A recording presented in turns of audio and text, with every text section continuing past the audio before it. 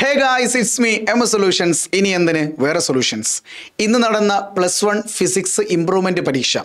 മിക്ക കുട്ടികളും ഇമ്പ്രൂവ് ആകും എന്ന് തന്നെയാണ് നമുക്ക് ഫീഡ്ബാക്ക് ലഭിച്ചിരിക്കുന്നത്.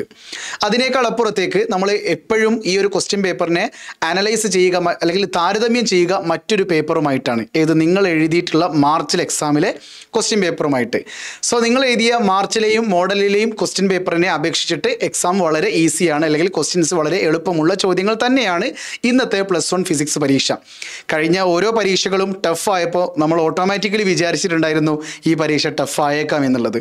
പക്ഷേ എന്താ പറയുക ഡെറിവേഷൻസിനും ഞാൻ പറഞ്ഞിട്ടുണ്ടായിരുന്നു പ്രോബ്ലത്തിൽ വലിയ കാര്യമില്ല. കാര്യം പ്രോബ്ലത്തിന് വലിയൊരു ഇമ്പോർട്ടന്റ് കൊടുക്കില്ല ഡെറിവേഷൻസും തിയറിക്കും പ്രാധാന്യം കൊടുത്തുകൊണ്ട് തന്നെയാണ് ഇന്നത്തെ ചോദ്യ പേപ്പറും വന്നിട്ടുണ്ടായിരുന്നത്.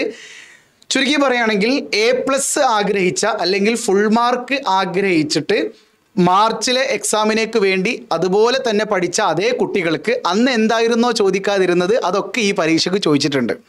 ഓക്കെ അതുകൊണ്ട് തന്നെ ആ കുട്ടികൾക്ക് ഫുൾ മാർക്കിലേക്ക് എത്താനും അല്ലെങ്കിൽ എ പ്ലസിലേക്ക് എത്താനും ഇന്നത്തെ പരീക്ഷ ഒരു സഹായക സഹായകരമായിട്ടുണ്ട് അല്ലെങ്കിൽ ഇമ്പ്രൂവ് ആയിട്ടുണ്ട്.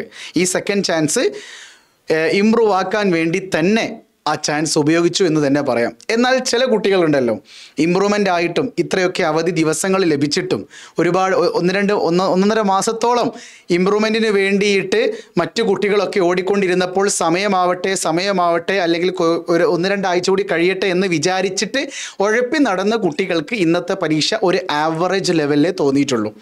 ഓക്കെ ടഫ് എന്നുള്ള വാക്ക് അവരും ഉപയോഗിച്ചിട്ടില്ല. അവരും പറയുന്നത് ക്വസ്റ്റ്യൻസ് മനസ്സിലായിട്ടുണ്ടെങ്കിലും പിന്നെ ആൻസർ എഴുതാൻ പറ്റിയിട്ടില്ല എന്നാണ് അവരുടെ മറുപടി. അതായത് ആവറേജ് കുട്ടികൾക്ക് എക്സാം ഒരു ആവറേജ് ആയിരുന്നു. അതിന് കാരണം അവർ വേണ്ട വിധത്തിൽ ഫിസിക്സിനെ ഉപയോഗിച്ചിട്ടില്ല അല്ലെങ്കിൽ ഫിസിക്സ് പഠിച്ചിട്ടില്ല. അത്ര തന്നെ. ഫിസിക്സ് പഠിച്ചു പോയി. മാർച്ച് എക്സാമിന് ഏതൊക്കെ ചോദ്യങ്ങളാണോ വരുമെന്ന് പ്രതീക്ഷിച്ചിരുന്നത്. അതേ ചോദ്യം. പ്രത്യേകിച്ച് കാർ നോട്ട് സൈക്കിൾ പിന്നെ എല്ലാം സിമ്പിൾ പെൻഡുല ഒക്കെ ഈ പരീക്ഷയ്ക്ക് ചോദിച്ചിട്ടുണ്ട്. അതുകൊണ്ട് തന്നെ കുട്ടികൾക്ക് ഈ എക്സാം എന്തായിട്ട് മാറി? എളുപ്പകരമായിട്ട് മാറി. ഇനി ഒരു വേറൊരു കാര്യം പറയാനുള്ളത്. കേരളത്തിൽ പല ജില്ലകളിലും പല രീതികളിലുള്ള പല ആറ്റിറ്റ്യൂഡിലുള്ള പലതരത്തിൽ ഇമ്പ്രൂവ് എഴുതിയ കുട്ടികളുണ്ടാകും. ഓരോരുത്തരുടെയും പിന്നെ ഫീഡ്ബാക്ക് വ്യത്യസ്തമായിരിക്കും. ഞാൻ ഈ പറഞ്ഞ ഫീഡ്ബാക്കിൽ നിന്ന് നിങ്ങൾക്ക് മാറ്റം തോന്നി നിങ്ങൾക്ക് ടഫായി തോന്നിയിട്ടുണ്ടെങ്കിൽ നിങ്ങൾ കമന്റ് ചെയ്യുക. അതിന്റെ കാരണം കൂടി പറയണം. ഏത് ക്വസ്റ്റ്യനാണ് നിങ്ങൾക്ക് ടഫാക്കിയത് അല്ലെങ്കിൽ നിങ്ങൾ പഠിക്കാത്തത് കൊണ്ടാണോ എന്നുള്ളതും കൂടി ഒന്ന് ആലോചിച്ചിട്ട് തന്നെ കമന്റ് ചെയ്യട്ടോ കൂടുതൽ ഇതുപോലുള്ള പ്ലസ് വൺ പ്ലസ് ടുവിന്റെ റിലേറ്റഡ് ആയിട്ടുള്ള അപ്ഡേറ്റുകൾ അറിയുവാൻ വേണ്ടിയിട്ട് നിങ്ങൾ എന്ത് ചെയ്യുക? കമ്മ്യൂണിറ്റി ഗ്രൂപ്പിലും അതോടൊപ്പം തന്നെ നമ്മുടെ എം എസ് സൊല്യൂഷൻസിന്റെ പുതിയ private YouTube channel sorry WhatsApp ചാനലിലും നിങ്ങൾ എന്ത് ചെയ്യുക?